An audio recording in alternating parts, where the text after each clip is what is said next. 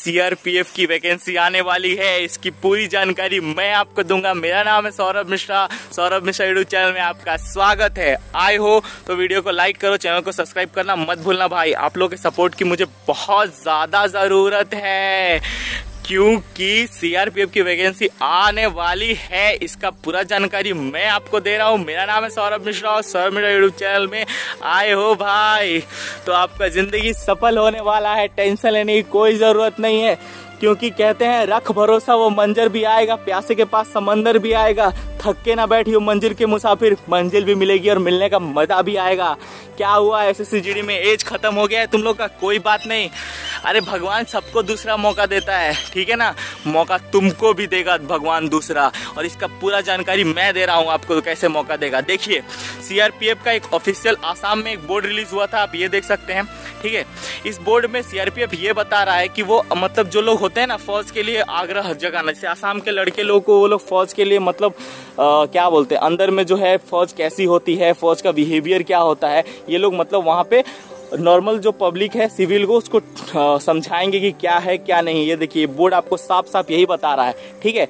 इस बोर्ड के ज़रिए वो ये बता रहे हैं कि वो इस चीज़ को बाहर करेंगे, ठीक है ना? इसका मतलब क्या है? सीआरपीएफ अपना बोर्ड रिलीज़ कर रहा है, ठीक है ना? और बोर्ड में लिख रहा है कि वो जनता को अवेयर कर रहा है, जबकि सीआरपीएफ का एक भी वैकेंसी एस एस में नहीं आया है, ठीक है ना? आप एस एस कोई वेबसाइट में जाके दे दो सीआरपीएफ और एनआईए का एक भी वैकेंसी नहीं आया है। तो ये बोर्ड रिलीज़ करने का मतलब क्या होता है?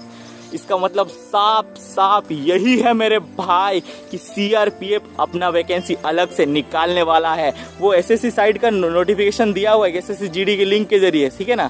एसएससी के लिंक के ज़रिए। लेकिन सीआरपीएफ अपना अलग से निकालने वाला है। क्यों निकालने वाला है? इसको बारे में मैं आपको क्यों बोल रहा हूँ? क्योंकि आपका भाई बिना किसी मतलब आ, क्या बोलते हैं? बिना कोई जानकारी के आपको कुछ बताता नहीं है ठीक है? तो आप जब सीआरपीएफ के साइड पे जाओगे तो सीआरपीएफ आपका साइड में ये बताता है कि मेडिकल कैसे करेगा वो ठीक है ना? उसका हाइट या क्रिटेरिया क्या रहेगा? जैसे मैंने आपको बताया था 165 सेंटीमीटर कर दिया है ग्रुप सी का सब के लिए।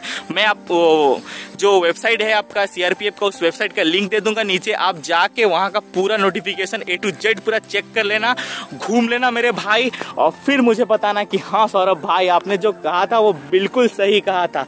ठीक है? वो अपना मेडिकल कैटेगरी रिलीज़ कर रहा है। बारह हज़ार को वैकेंसी अलग से दिया हुआ है आपका किचन स्टाफ के लिए। उसके बारे में आपको पहले ही बताया था। ठीक है?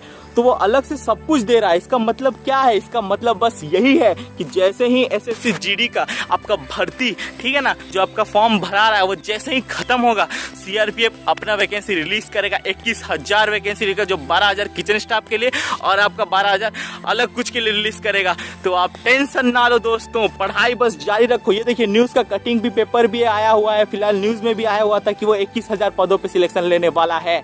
तो मैं आपको कुछ भी बोलता हूँ तो हवा में नहीं बोलता हूँ दोस्तों, बहुत जल्द वैकेंसी आने वाली है। पढ़ाई पूरा जारी रखो, जान लगा के पढ़ाई करो। अब की बार तुम सिलेक्शन ले ही लोगे, ठीक है? जय हिंद दोस्तों, मिलते हैं आपको दूसरी वीडियो में। ठीक है?